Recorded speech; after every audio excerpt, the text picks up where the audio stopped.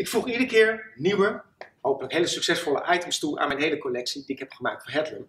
Dit is een crushed velvet en het leuke ervan vind ik is dat het, ondanks dat het een korte pool is, door dat gecrushte effect ontstaat er gewoon een hele mooie schakering en schaduw in. En het lekkere is, het heeft een geweldige valling. Dat vind ik altijd heel belangrijk. Niet alleen de touch, niet alleen de structuur, de valling die uiteindelijk mooiste gordijn maakt.